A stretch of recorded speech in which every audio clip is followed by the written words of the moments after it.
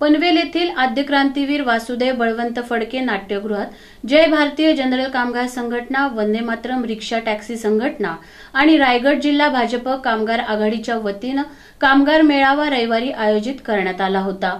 Bhajap Shiv Sena RPI आणि मित्रपक्षाच्या महायुतीचे उमेदवार आमदार प्रशांत ठाकूर यांच्या समर्थनार्थ आयोजित केलेल्या या कामगार मेळाव्यास माजी खासदार लोकनेते रामशेठ ठाकूर आणि भाजप शिवसेना आरपीआय आणि मित्रपक्ष महायुतीचे उमेदवार आमदार प्रशांत ठाकूर यांची प्रमुख उपस्थिती लाभली.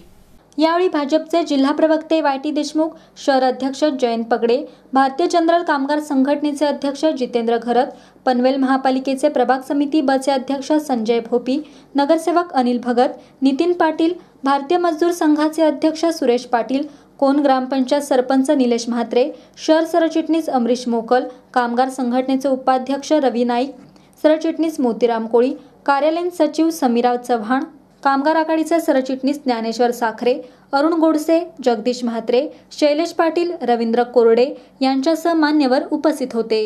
यावेळी माजी खासदार लोकनेते रामशेठ ठाकूर यांनी आपलं मनोगत व्यक्त केलं.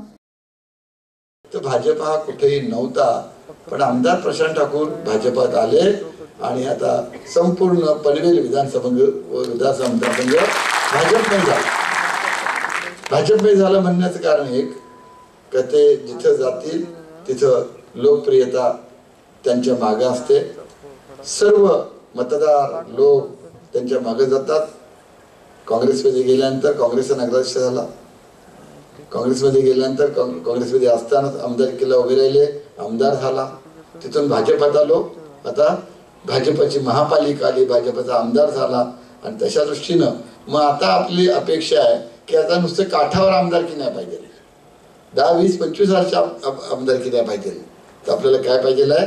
की आपल्याला एक लाखपेक्षा जास्त मतांची आघाडी महाराष्ट्रातला सगळ्यात मोठा मतदारसंघ जर असेल तर दोनशे अठ्ठ्याऐंशी आमदारामध्ये पहिले पाच आमदार देशातले बरेचसे आमदार माजी आमदार किंवा आणखीन बरेचसे मंत्री संत्री होऊन गेलेत. त्या दोनशे अठ्ठ्याऐंशीमध्ये आघाडी मिळवलेल्या पहिल्या पाच मध्ये तरी आपल्या मतदारसंघाचा प्रशांत ठाकूरचा नंबर आला पाहिजे अशा प्रकारची आपली इच्छा आणि आपली इच्छा आपण केलेली आहे. प्रशांत ठाकूरांना नाही केलेली. काय आपल्याला वाटतं जो माणूस काम करतो त्याला त्याचं फळ मिळालं पाहिजे. पनवेल आणि नवी मुंबईच्या ताज्या घडामोडींसाठी मल्हार टीव्ही न्यूज सबस्क्राईब करा आणि बेल आयकॉन दाबून रहा अपडेट.